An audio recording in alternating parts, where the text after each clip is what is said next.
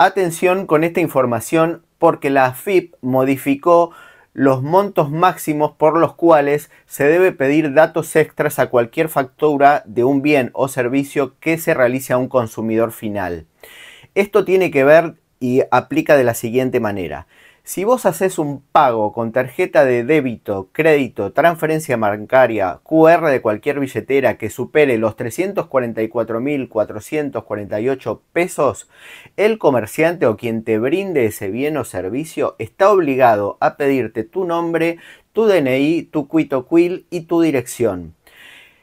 Si vos ese pago lo haces en efectivo, ese monto baja drásticamente y es de 172.244 pesos.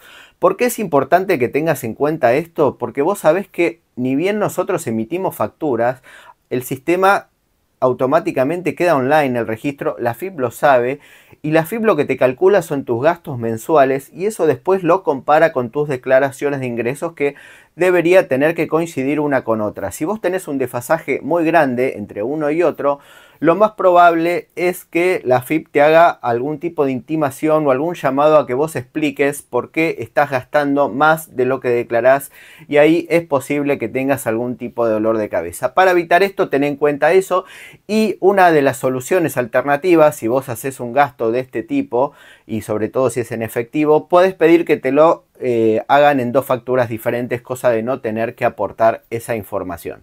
Si te sirvió este video, compartilo y si tenés alguna duda con respecto a esto, déjamelo en los comentarios que con gusto te los voy a contestar. Nos vemos en el próximo video. Chao.